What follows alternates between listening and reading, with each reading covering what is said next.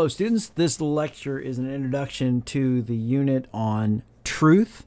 And um, recently, Time Magazine ran this cover Is Truth Dead? Wondering that if in this day and age where we seem to be having so much fake news and so much uh, misinformation, disinformation, and outright deception, uh, that maybe the whole concept of truth is uh, done for. And so, in this lecture, we're going to be uh, countering that and saying, no, truth really does matter and there is a way to find it.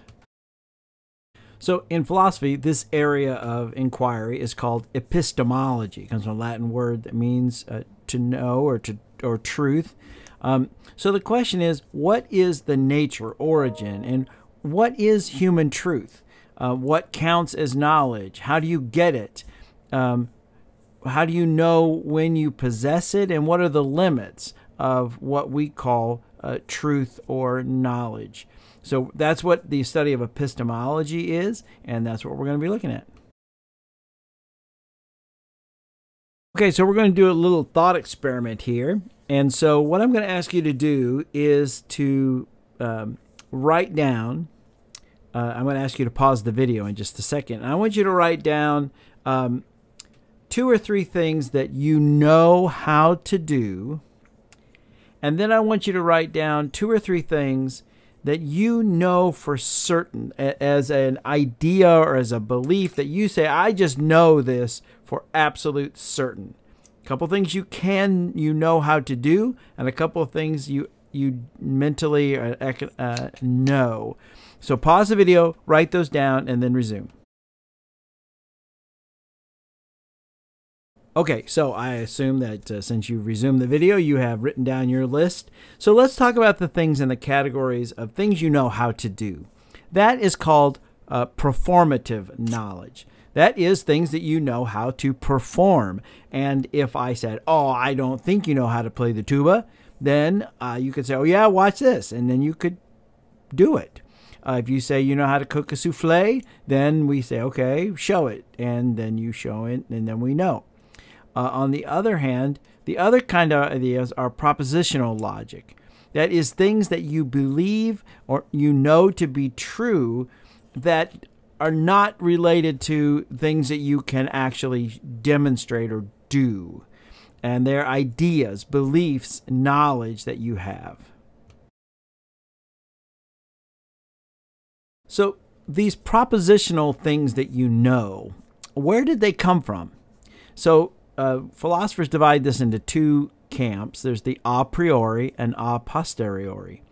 Uh, a posteriori is posterior. it looks like it sounds what it says. It's in things you know from experience. That is, they're in your rearview mirror, right? You've done them before. Uh, you've learned them in the past, and so you know it based on collected information. Okay, again, not performative knowledge, but things you have been experienced that you know uh, from the past. A priori knowledge are things that you have not experienced, but using the power of reason, you can arrive at a certain kind of knowledge even though you've never experienced it. So let's take the example of that 23 is a prime number. Now, maybe you knew that off the top of your head. But if you do know what a prime number is, a number that can only be divided by 1 and itself, then I could give you any number you've never thought of before, and you could think about it using your previous knowledge. You could come to a new knowledge that you didn't experience before. So, 3, 23 is a prime number you know that because you know what a prime number is, you know the factors, what 23 is, and then you come to knowledge that you have. Now, on the other side, uh, a posteriori knowledge is knowledge that you never would have arrived on your own without somebody telling you or you having some previous experience with it. So, the idea that we have uh, 23 pairs of chromosomes is something you had to learn somewhere you read it in a textbook, you had a biology professor told you, uh, you read it on the internet. Somewhere you got that information. You're not a biochemist, you haven't done all this study of molecular biology. Somewhere along the line, somebody told you this, and you have taken it to be knowledge. So uh, those are the two kind of camps of knowledge of where what kinds we have. Stuff we we just know by reason, intuition, uh, somehow it's just in us, or things that we have to experience and come to know by learning. Okay, and that brings us to this equation K equals JTB. Um, in philosophy and especially in logic, we like our little um, uh, symbols and equations because it makes life uh, simpler to write things. This powerful, this may be the most powerful statement in the universe. Um, and it is knowledge equals justified true belief. Let me say it again. Knowledge equals justified true belief. How do you know something is knowledge? When you say, I know this is the case, what do you have to have for it to count as knowledge? And so, what we say, and there are, again, there are detractors, and you can do lots, you can do whole graduate work on this. But for right now, it's enough for us to say that in order for you to say something is knowledge, first of all, you have to believe it, right? You can't like say, I know something, but I don't believe it. Um, we do say that kind of weird. Like, for example, my son is a is a senior in high school at the time I'm recording this. So I could say, wow, I can't believe my son is a senior in high school. Now, that's a colloquial phrase. I don't literally mean that I don't believe it. Um, I mean, I'm really, really saying is, wow, time has really gone fast, and he's grown up just so quickly. Uh, but that's how we say it. I just can't believe that he is a, a senior in high school, but I know he is. Um, so those are that's a way. But when we really come down to it, if you want to say you know something, then you have to believe that it is the case.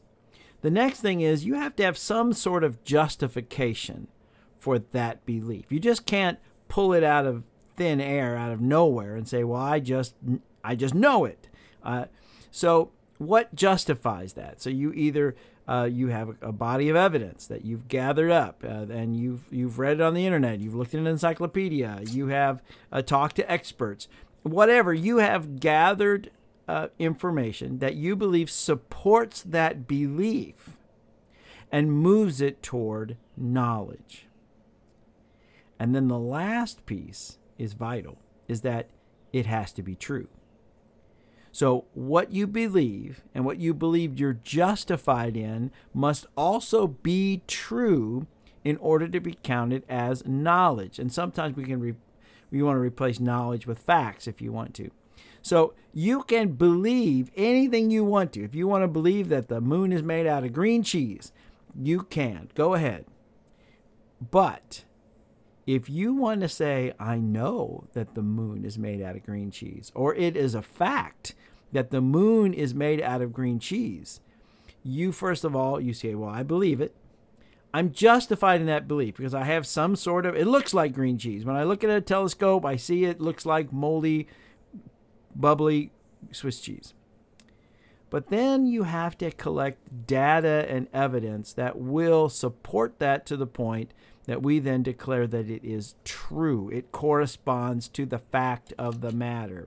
So we're going to talk about that. So the, it really hinges on this idea of being able to demonstrate that something is true in order for it to be counted as knowledge. And then we have to decide how can we satisfy the truth condition. Now, there may be things you believe that you can never prove are true. Um, I believe that my wife loves me, and I could gather data perhaps. Um, but at some juncture, I have to say, you know what? I believe it, but I couldn't prove it in, in any way that would satisfy a truth condition. I can't um, beyond a shadow of a doubt, g- gather evidence that would prove that it is true. But I still believe it, and I believe I'm justified in that knowledge, in that belief, but I can't count it as absolute knowledge. All right, how about the idea that the world is flat? Um, by the way, Lego just released a fabulous world map that is a, a two dimensional map made out of little tiny little Lego studs, which looks awesome. But anyway, what about the idea that the world was flat? Okay, let's agree that the world never was flat. Okay, so despite crazy people that are flat earthers, and we could talk about them later if you want to, but uh, the world has always been round. Now, there was a time when people believed that the world was flat. But that didn't change the fact that the world was not flat. Now, this is the tricky part. If you were to read books written in, in uh, uh, medieval times, um, they would have said that they knew that the world was flat. Um, and it what they would say it was knowledge. They would say it was a fact, but it was not. It was a belief, and people acted on the belief. So in many ways, it functioned as a fact, and that's a whole nother thing we could talk about. Uh, pra- pra- what's called pragmatic t- uh, test of truth, which is to say, if it works, then just roll with it. Um, but for our purposes, um, no matter what people thought, they knew the world was not flat, and therefore they believed a lie, or at least they were misinformed about the truth. So they didn't know it, they believed it.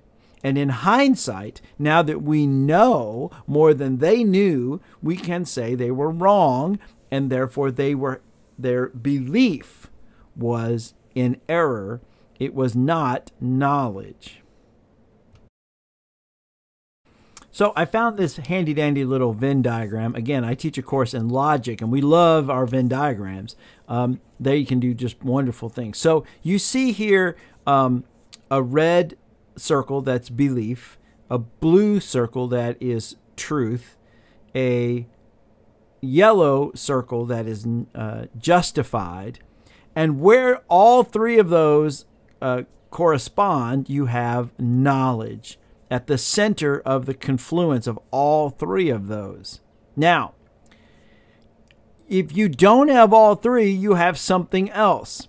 Okay, look, you see the little arrow that's pointing to that little space that says denial. Okay, so in that case, um, something is true, it's justified, but you just don't believe it. So that's outside the red circle. And it's called just denial, right? You just refuse to believe it. Um, but it's true and it is justified. Now, uh, look up there where um, there's a weird little kind of purple space where it says good guesses, right? So that's the confluence of true and believe uh, without justification, right? So something happens to be true and you believe it, but you don't have any good reason. You just happen to be lucky. Okay? So uh, if you go, you know, if you were to go to the doctor and the doctor had a fishbowl full of random pills, and you came in and you had, let's say, a serious sinus infection, and you reached in and you grabbed out a mystery pill and you said, I believe this will heal me. And you took it, and it just happens that what you pulled out of there was a very powerful antibiotic. Well, guess what? It was true. It actually did help you feel better. But you were not justified in that belief, right? You were just lucky. Um, there was no good reason to believe that what you would pull out of there was uh, efficacious. But it happened to be true and you believed it and you just got lucky. So uh, you might want to take a little time, look over this chart um, and, and see those different points because as you're looking at uh, truth claims and as you watch the films and if you proceed through this course, it might be helpful to be able to sort of say, oh, wait a minute, that's where this person is hanging out. Uh, they've got a false positive or they've got a lucky denial or uh, they are just out there in nonsense land. All right, so this next point uh, requires maybe a little uh, thinking, hard thinking here. So if you're driving, you might want to pull over. And and and so when you say that a statement is true, Okay, so, and by the way, only statements can be true. Uh, arguments can be sound, but only statements can be true. But when you want to say that a statement is true, the truth of the statement has to be outside the statement itself. Okay, and technically we say the truth bearer uh, requires that we look outside the truth bearer itself. Okay, so what truth bearer means the words. All right. So if I say to you, uh, Dr. Shell has a PhD, that is a statement. If I want to know if it's a true statement, I have to go outside that individual statement to validate and verify the truth of that statement. The words are not true, it is its relationship to reality that makes it true. And this connected to that is this idea that words don't have meanings, they express meaning. So the meaning of words, the actual meaning, is not expressed in the words, but in the ideas outside the words. So an example of this is the famous uh, expression by uh, uh, Descartes. I think, therefore I am. That's one of the great statements in all of philosophy. Um, he believed that he was doubting every single thing under the sun. Everything is in doubt. But he couldn't doubt that he was thinking. And there came the in- inspiration, the light bulb came on that if I'm thinking, I must exist. So I can't doubt that. I think, therefore I am. And the Latin phrase that you should learn, you might win Jeopardy. Cogito ergo sum. I think, therefore I am, expressed in Latin. Or if you like French, he also wrote it in French, and I, I can't speak French, but I'll try. Je connais dos Jésus. Okay, so in French, the same idea. I think, therefore I must exist. But the words, whether you write it in English, Latin, or French, don't have the meaning. The meaning is in the relationship of the ideas expressed to reality that gives it its sense of meaning. Okay, so let's go and, and make this work for us. So, as I started before, Dr. Shell holds a PhD from the University of Kentucky. There's a statement. If you want to decide if it's true, you could meditate on those words, but you would never know if that's true. So the question becomes how can you verify that that is a true statement? Okay, so you could ask me. You could send me an email and say, "Hey, Dr. Shell, do you actually hold a PhD from the University of Kentucky?" And I would email you back and say, "Yes, I do." And you could be satisfied with that. You could say, "Okay, Dr. Shell told me so. I believe it." If you're a little more skeptical, you could be, "Hmm, I I wonder if the University of Kentucky publishes a list of graduates." And we could run that down and we could do a search a database and see does Dr. Shell hold a PhD from the University of Kentucky. You could then uh, decide uh, maybe the college has my resume on file. Um, so there's a variety of ways you could satisfy the truth condition to to see if this statement corresponds to a fact in the world. Okay. Uh, or you could simply believe it and just roll and, and not ask and not say that it's true. You could just say, I believe it. Um, I'm also a pastor, and um, I've used this to my advantage more than once. Uh, I've gone to visit a, a, a church member who's in the hospital, um, sometimes in the emergency room, and of course they want to limit visitors. Right? They're like, well, they're not. We're not having any visitors. And uh, frequently, when I approach the, the hospital, of course, I have my a certain tie on, and uh, I walk with authority. And occasionally, somebody will say, "Oh, I'm sorry, sir. Um, uh, they can't have any visitors right now. And I will say, oh, not even doctors? And they'll say, oh, no, of course, you can go in and see him if you're a doctor. Right? And so they didn't ask if I hold a medical doctor. Am I a medical doctor or hold a PhD and have the title doctor? So uh, they believed that I was a medical doctor. I simply didn't dissuade them from their their incorrect assumption um, that I was a medical doctor. In fact, I am a PhD, and I do have a PhD from the University of Kentucky, and you can check it out if you want to. Okay, now this statement uh, is a little different character, isn't it? Uh, Dr. Shell is obsessed with Lego. Um, because you can't exactly verify. Um, we in logic class we talk about what they call um, weasel words. Obsessed is a little um, amorphous. So before you could sort of decide if this was true, you would have to decide what you mean by obsessed. Do you mean actually clinically di- diagnosed as obsessive, or you mean that he's a real fan of Lego, which I am? Um, but once you decided that, you could say, well, okay, how could we determine if Dr. Shell was obsessed with Lego?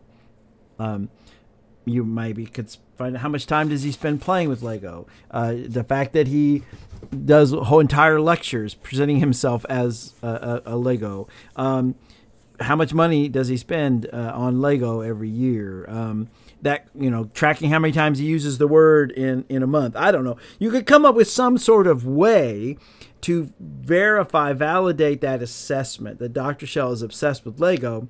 It's not quite as clean as does he hold a PhD because it's it's hard to document uh, that statement. But you certainly could move that direction and say, I've gathered enough data that I can uh, say that I believe and I'm justified in the belief that that is true.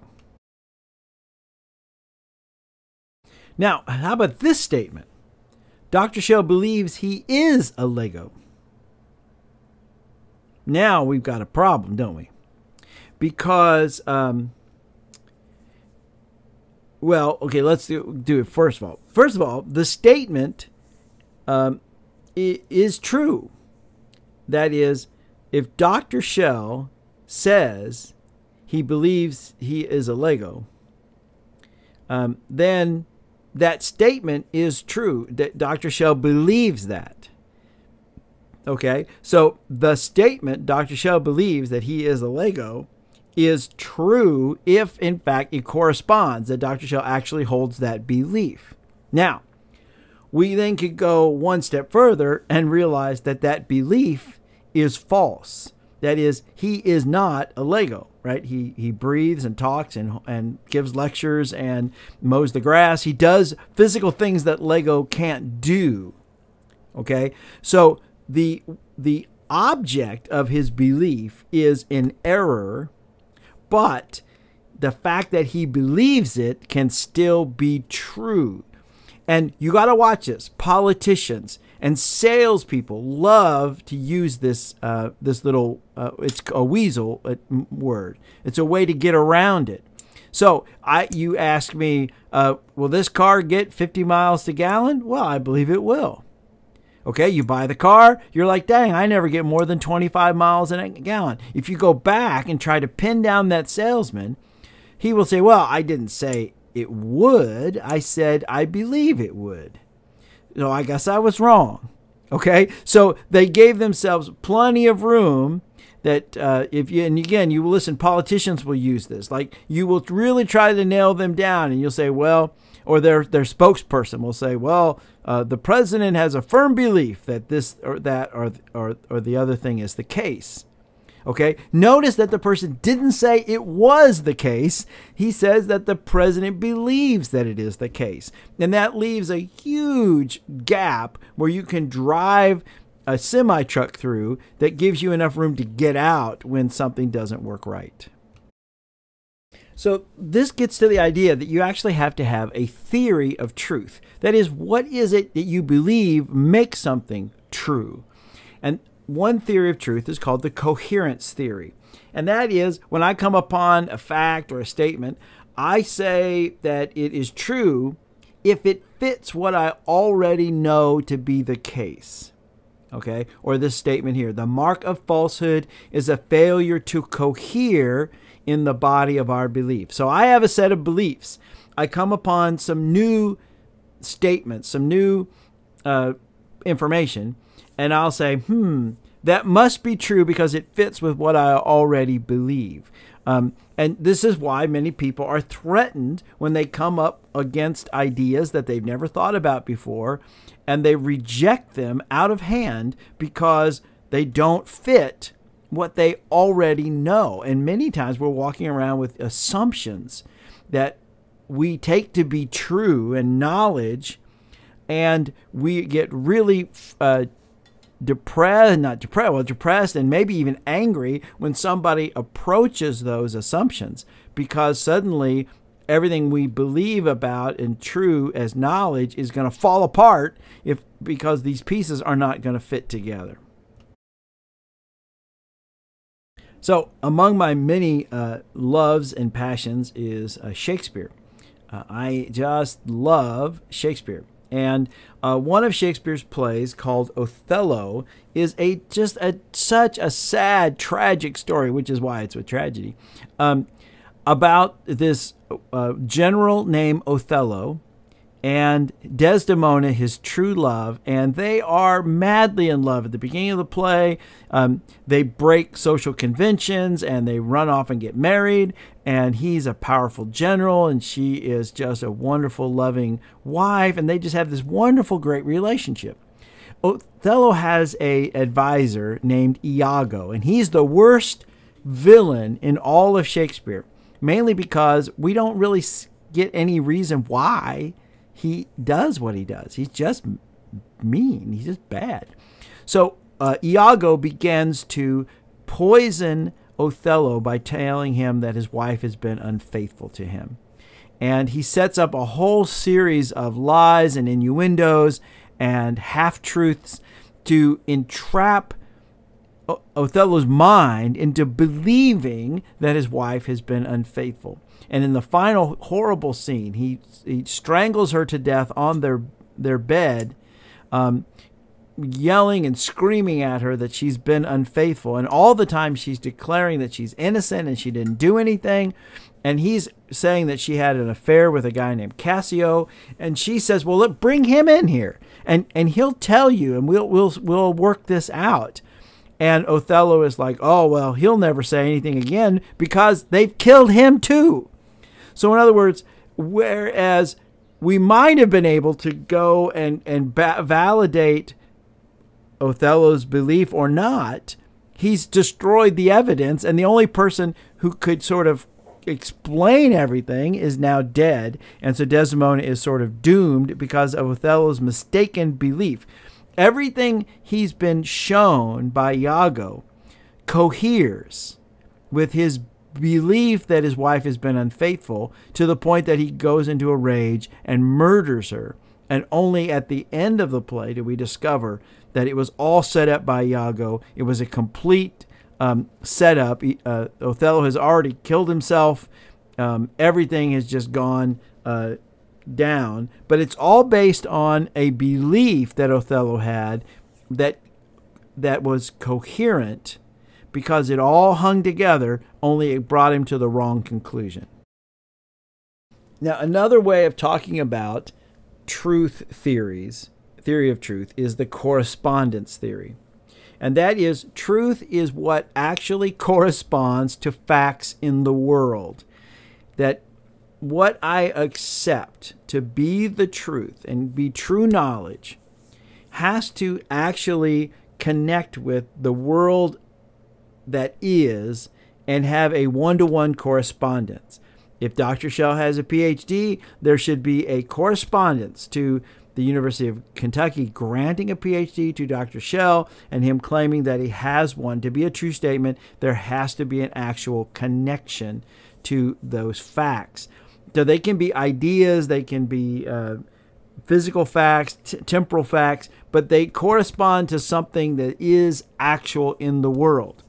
Now, as we go through this course, you're going to realize that there are different ways of arriving at facts. There's empiricism, which says it has to be physical, it has to be something I can weigh, measure, test, are the only kinds of facts there are.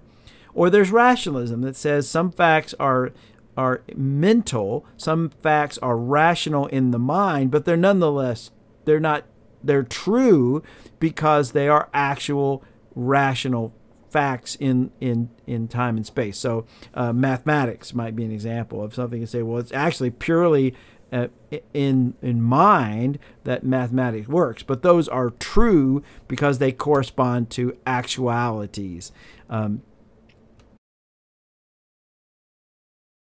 So, within recent memory, we've actually had a really interesting illustration of um, correspondence and coherence theory uh, played out uh, in live television in front of our eyes. So, if you think back to uh, President Trump's inauguration, um, President Trump and, and many of his um, supporters were were jumping on the fact that this was the largest inauguration ever and that there was a huge crowd, just unprecedented, unbelievable crowd.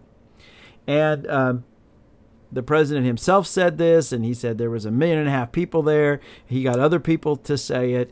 But then people began to sort of question that because they were looking at numbers that were coming from the National Park Service, um, and that normally is the one that reports the crowd sizes at events.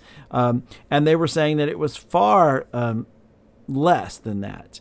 Um, and Sean Spencer Spicer, who was the president's uh, press secretary, came out in the White House press room and said, without uh, any hesitation, that this was the largest audience ever to witness an inauguration, period.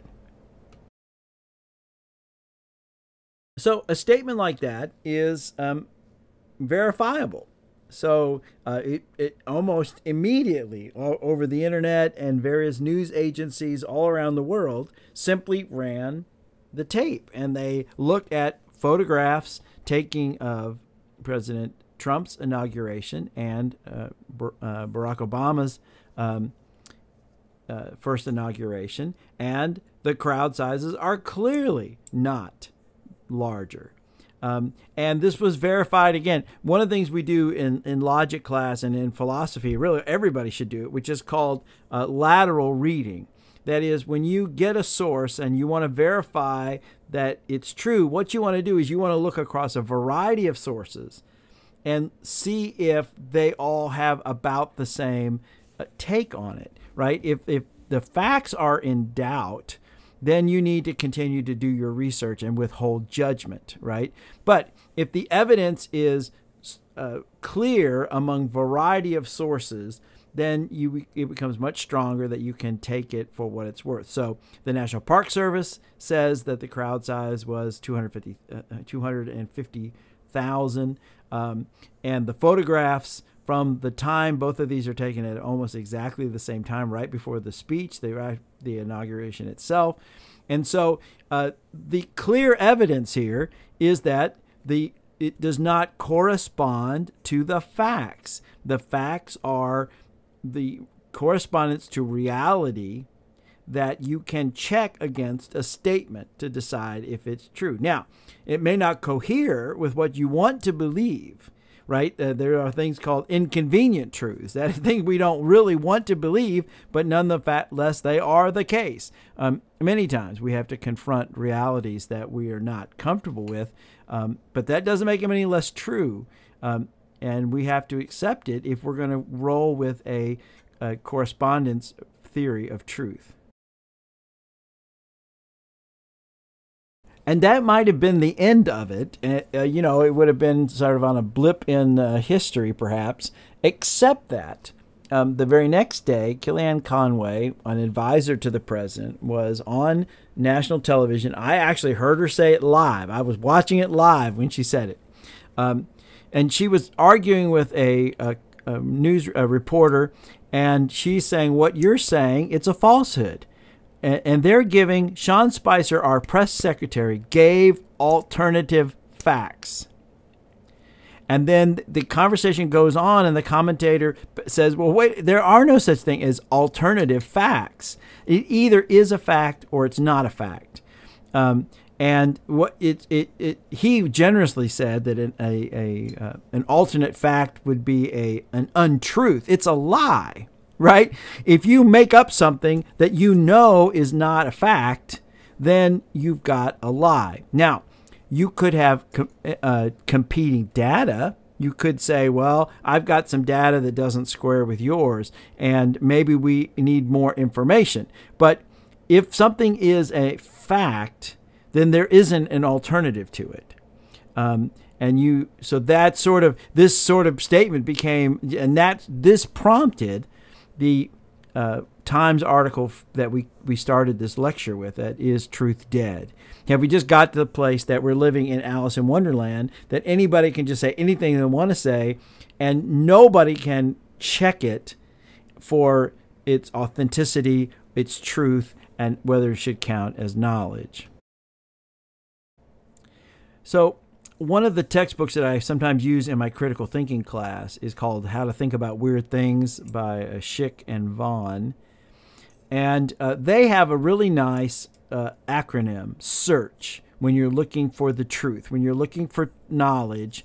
He, they have this nice little uh, scheme, and you could use this literally to write it down as you work through uh, something that's important that you want to know. Is this really the truth?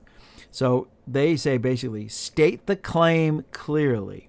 Okay, so take what somebody's saying about global warming or about pandemics or about inoculations or whatever you want to say, and make sure you understand exactly what they are claiming. Remember that thing about Dr. Shell is obsessed. Okay, what does obsessed mean? Let's nail this down to say very precisely what is the claim.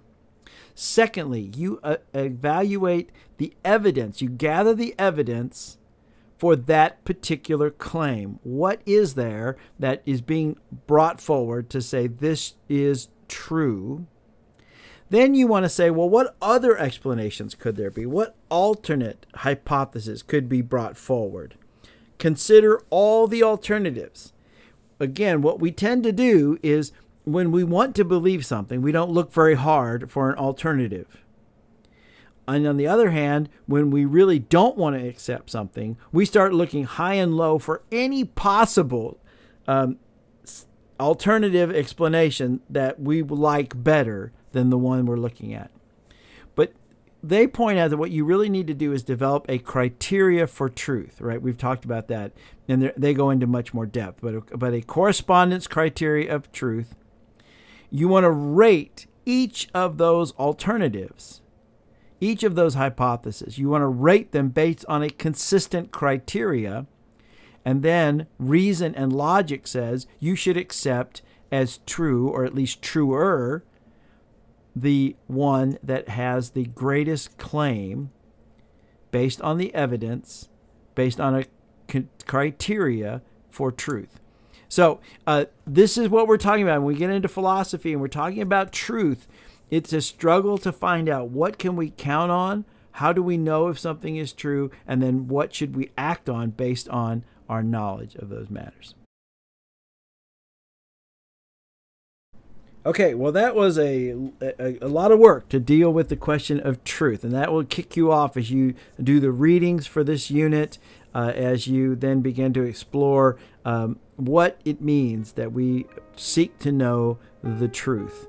Um, and I appreciate your time with this and look forward to your uh, writing and your reflection on what it is to know the truth.